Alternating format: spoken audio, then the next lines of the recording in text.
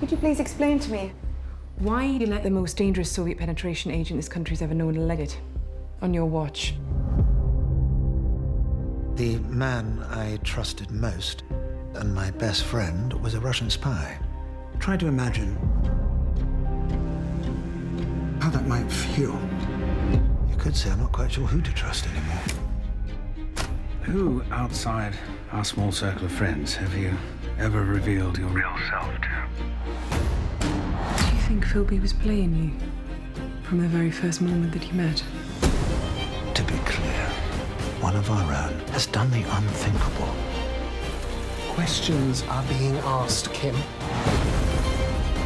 Friendship trumps ideology. Tell me you'll make something of all this. A Spy Among Friends. Available 8th of December. Stream free on ITVX.